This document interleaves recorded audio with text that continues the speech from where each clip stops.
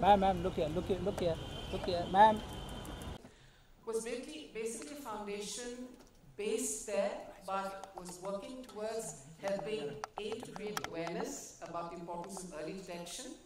But the core objective was to be able to raise enough funds to pay for the treatment of women, especially from the lower socioeconomic strata, who can't afford to get themselves treated but are determined to be well. And we just believe that every woman, every woman should have that chance. And I'm just so grateful that in the last 15 years, thousands of women have had that opportunity to be treated at the Tata.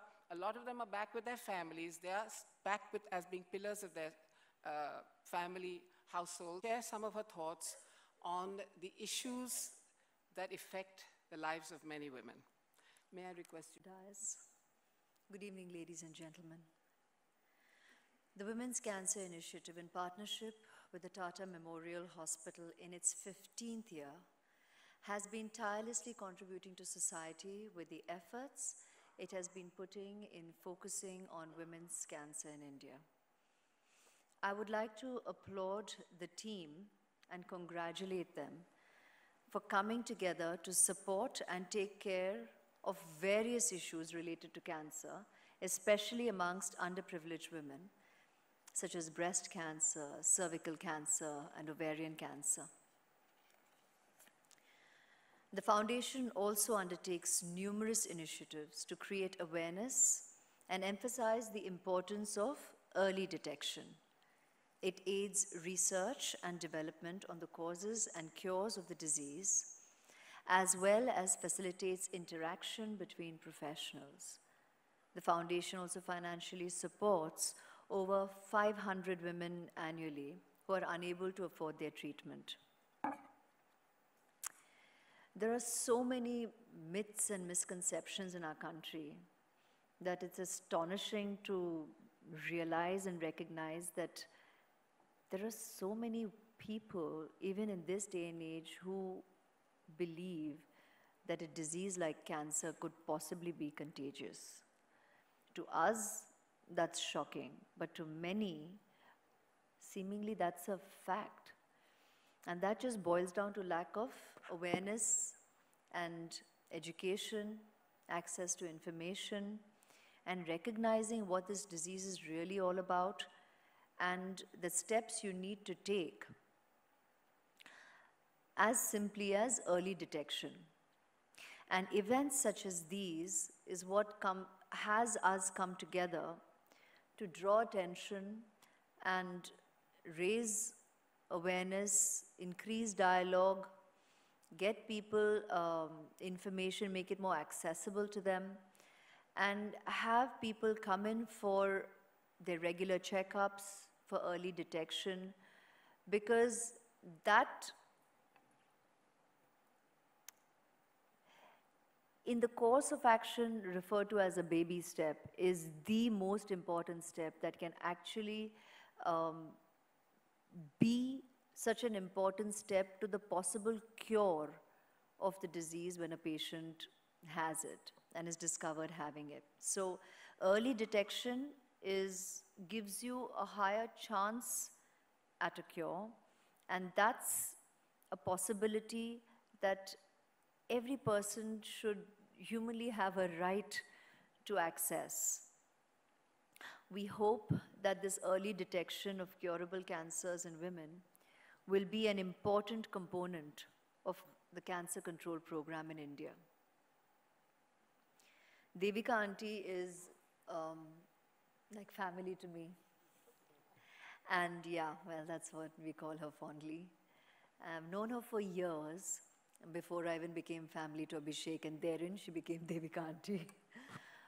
but, um, and hence obviously my personal exchange here where, you know, it's, um, it's amazing to see that even when she went through an experience like her brush with cancer, she has converted it, like so many people out there, to positively affect, contribute, and raise awareness and hopefully make a difference. That's a very small step in bringing about change. But in our society, I think we are all drops in that huge wave where we can come together and actually make a difference. And every step counts, every possible contribution, uh, personally, emotionally, financially, makes a huge difference. Um, it's only people whose lives have cancer has touched, which currently is seemingly every second person, that you know what you're dealing with, you know what you're battling, you know what the experience is all about, and um, it is it is our reality check in present day and age, and it's very very uh, um, apparent, screaming at us from every um, possible corner of I think every one of our lives, and um, we need to do what we can do to be there for each other as a people. I was with Auntie in a very, um, um, it was a very small thing when I was part of your Think Pink um, fashion show in the, I think the first year of your initiative of, of WCI. And um, it's, it's so um, heartwarming to know that though time has flown by and it's in its 15th year today, you're still tirelessly working with this unconditional love, care, and dedication because that's what it really takes to propel you to believe and do what you do.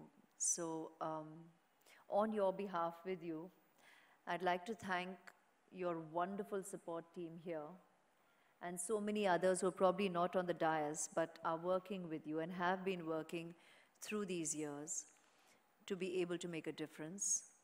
And the movement is ongoing. Thank you all here for being here and, um, you know, sharing your precious time because just by being here also, you're supporting, you're raising awareness, members of the media who have come here.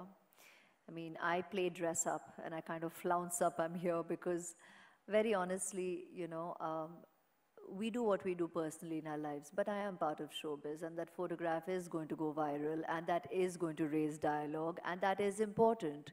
So people know why I'm here, and uh, it draws attention to the cause, and it draws attention to what work is really being done.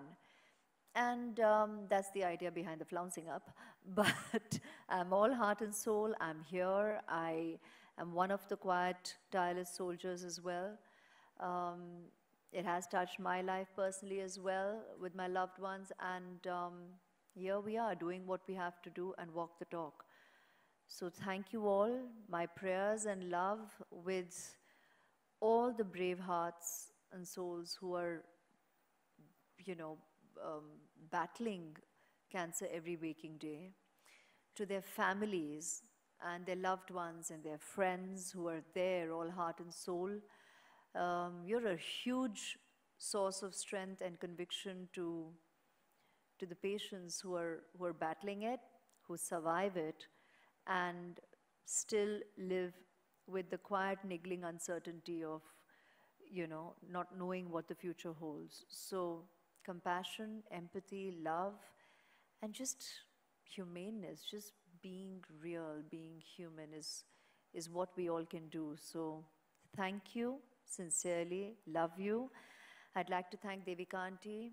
Dr. Badwe is not here with us, but for all his work and contribution, Dr. Gupta, Pratima Raoji, Mr. and Mrs. Bajaj, and uh, Suresh Uncle, who's here too with Devika Aunty, and um, the performers this evening, um, Manjari Chaturvedi and her team, for enthralling us with a performance this evening. Thank you for your time and thank you for your support. God bless.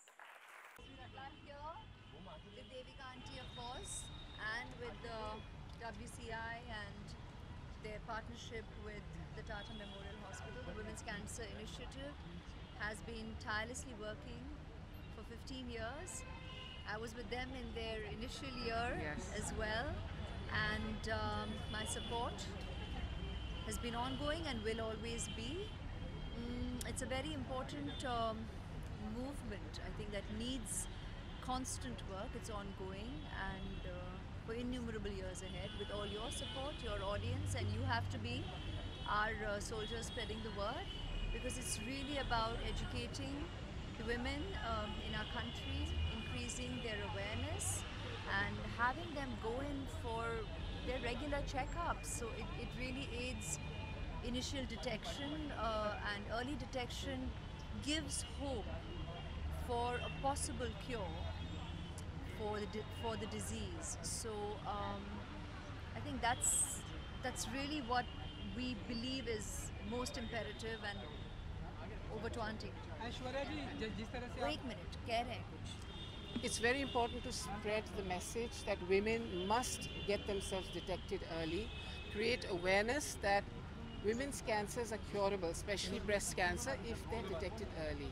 So that awareness has to be spread all over India. An event like this, when you have Aishwarya ji coming and gracing the occasion and spreading this message, I hope all of you will carry it just as far.